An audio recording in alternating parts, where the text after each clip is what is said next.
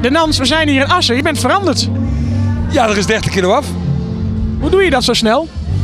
Ja, het is toch wel heel leuk om, eh, om dat tegenwoordig een beetje mee te maken. Ik bedoel, in november ben ik geopereerd. En dan eh, heb je diverse stations. Ik begon met 10 kilo, 20 kilo. En inmiddels is er 30 kilo af. En we zijn nu eh, in juli. Maar je hebt ook een duet opgenomen. Ja, met Tina van Beek. Ook een, een hele goede zangeres onder mijn stal van HVA Producties uit het dorpje Prinsenbeek. En het is een prachtig mooi duet geworden, geschreven door Hugo Peters. En het liedje heet Samen met jou en is inmiddels al te zien bij TV Oranje. Ik vind Tina van Beek sowieso een schat van een vrouw. En eh, haar dochter is eh, eh, dezelfde leeftijd als mijn dochter. Dus we kennen elkaar al van, van, van, van, van kinds aan van de kinderen.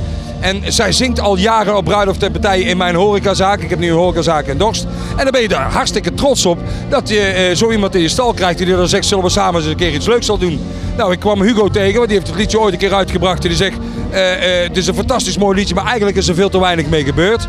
Dus toen eh, zei ik tegen hem, zal ik het dan een keer uitbrengen in een ander duet met Tina. We zijn naar de studio gegaan van Manfred Jongenelers. Nou, ook wel bekend, eh welbekende accordeonist van André Hazes. En die heeft een fantastisch mooi arrangement en de productie van gemaakt. Hoe is dat nou te combineren? Je gezinsleven, vrouw, dochter, eh, zingen, zo'n grote eh, stal onderhouden. Hoe doe je dat? Heel erg makkelijk, want gezinsleven is één en muziek is twee.